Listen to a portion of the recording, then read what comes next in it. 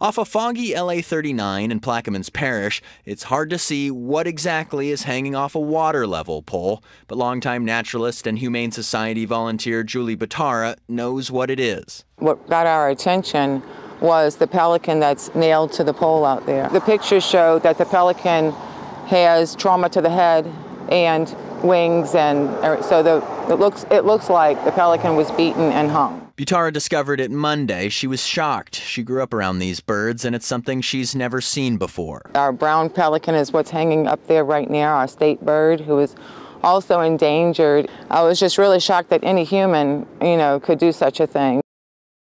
Here in this body of water in Plaquemines Parish, Butara has seen three other dead pelicans and eight with bad injuries, all just this week. The gruesome discoveries continued in St. Bernard Parish, where Butara says she's seen five dead pelicans and six who appear to have been maimed and mutilated near the fishing dock in Hopedale. This is the first time that I've ever gone around there and I've seen dead pelicans. The thing is, you don't know why, you know.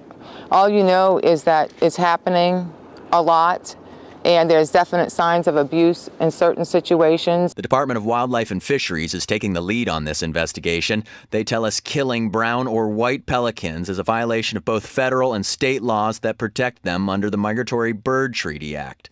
Butera says she just wants people to understand these deaths are a serious matter. If found illegally killing one of these birds, you could face a fine as high as $950 and 120 days in jail. You could also face federal charges as well. That's the story in St. Bernard Parish. Paul Dudley, Eyewitness News.